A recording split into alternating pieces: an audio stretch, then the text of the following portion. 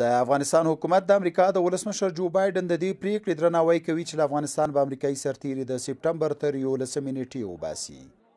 دولت افغانستان با دولت ایالات د افغانستان دولت د امریکا له دولت سره پخوا هم د امریکایي ځواکونو د ایستلو په اړه بحثونه درلودلي.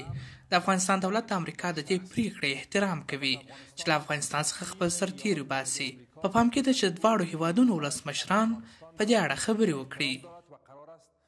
خو طالبانو بیا د ولسمشر جو بایډن د دغې پریکړې په ځواب کې ویلي که د دوحې د تړون په اساس بهرني ځواکونه په خپل وخت له افغانستانه ونه وځي ستونزې به زیاتې شي د طالبانو ویاند ذبیح الله مجاهد په خپل ټویټر ویلي د بهرنیو ځواکونو په خپل وخت د نه وتلو مسولیت به د هغه لوري په غاړه وي چې توافقنامې ته التزام نه کوي د پخواني ولسمشر د دفتر پخوانی رئیس عبدالکریم خرم وايي چې د امریکا دا نوی تصمیم به په سولې اغېز ولري. ښاغلی خرم وايي، امریکا د دوحې تړون ارزونه کوله او خپله پرېکړه اعلان کړه.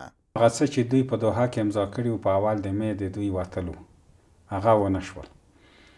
نو په امضا شوي سند باند کې چې دومره تغییرات راغلل نو طبعا طالبان به دا فکر کوي چې اوس په تش یو شفاهي تعهد باندې موږ کله باور کولای شو نو د سولې پروسې په مجموع کې او د استانبول کنفرانس په خاصه توګه ډیره ضربه ترې ولیده که دا ټوله پروسه خطر سره مخامخ نشي حد اقل د خنډونو او د ځنډ سره به کاملا مخامخ شي.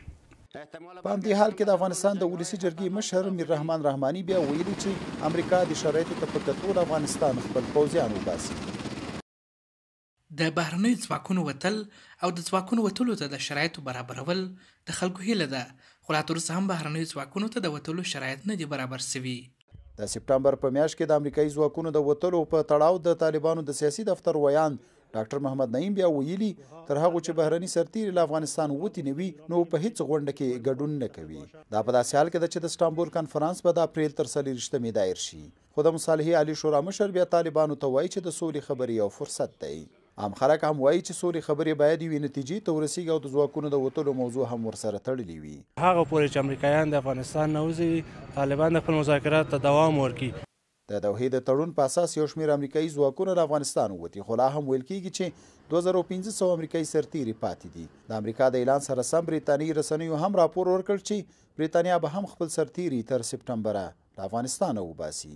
رحیم ګل څاروان، اشنا تلویزیون، کابل.